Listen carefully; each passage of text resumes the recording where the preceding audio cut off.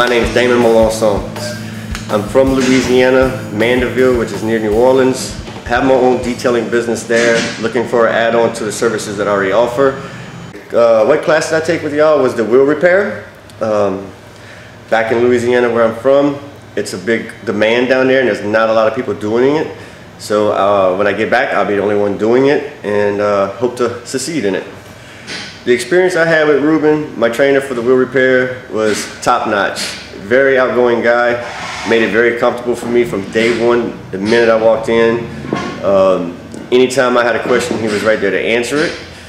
Very friendly, uh, didn't make you kind of feel like you didn't know what you were doing at any time of the training process and even gave you little pop questions and quizzes as you're training to make sure you understood what he was training you on, which was the wheel repair that I came for. Rubens was very detailed in the information that he gives you through the whole process from start to finish and uh, even cleaning the gun, tearing stuff apart, how to maintain your equipment to where it lasts you longer, which is a very key thing to have a successful business.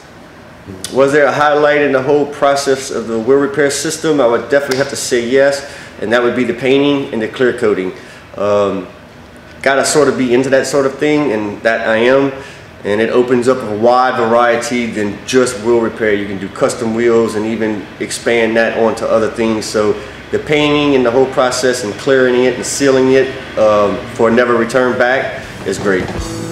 I would definitely recommend this school to anybody, 100%. And I feel confident myself in the three days that I was here, I'll go out there and make a lot of money.